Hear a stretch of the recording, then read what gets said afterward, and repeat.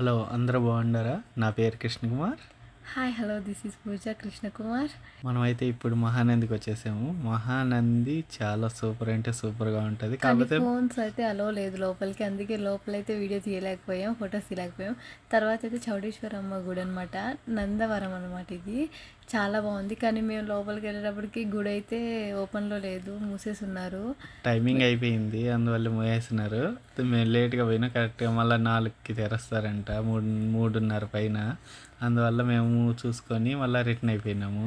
Last time కూడా మేము వచ్చినప్పుడు మూసేసి ఉన్నారు ఇంకొక హాఫ్ అన్ అవర్ ఉంటే ఓపెన్ చేస్తారన్నారు.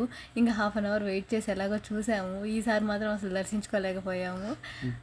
గుడి అయితే చాలా బాగుంటుంది. చూడాలనిపిస్తుంది బాగుంటుంది. గుడి అమ్మవారు అయితే చాలా మహిమ గలది.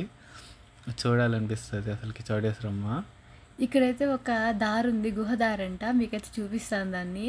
అక్కడికైతే నంది నందన రాజు ఎవరో తనైతే వచ్చి అక్కడికి కాశీకి వెళ్ళే దారి అంట అది. చాలా బాగుంది గుహ చిన్నది అయితే లోపల. ఒక అమ్మవారు కూడా ఉన్నారు లోపల చౌడేశ్వరమ్మ గారు. చూడండి మీకు కూడా బాగా కనిపిస్తుంది.